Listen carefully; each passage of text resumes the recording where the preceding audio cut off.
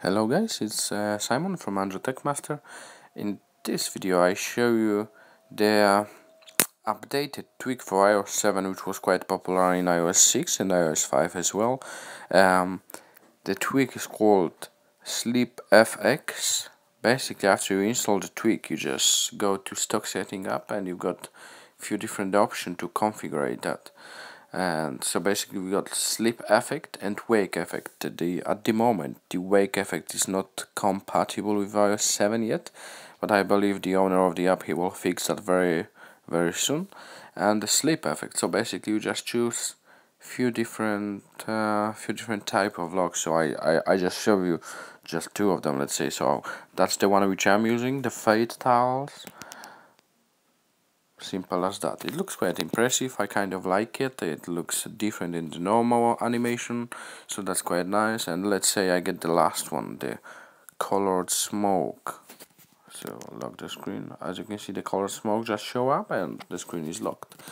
So yeah that's the app. Like always you will find um, in description of this video below you will find the source where you can get the tweak from and you will find because the tweak is paid it costs 499 dollars.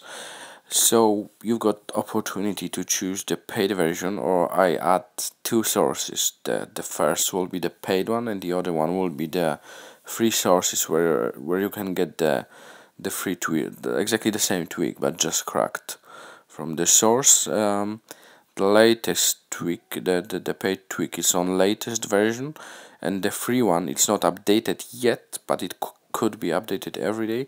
And at the moment the free one I had a problem on my iPhone 5 because the animation was not working but um, if you don't want to pay five dollars just install the free one and check if it works. If it does work just enjoy. If, if it's not working just yet wait for an update and enjoy after the update. So let me guys what you think in comment section. Um, if you like my youtube channel just please subscribe. If you like the video please share. And um, have a nice day guys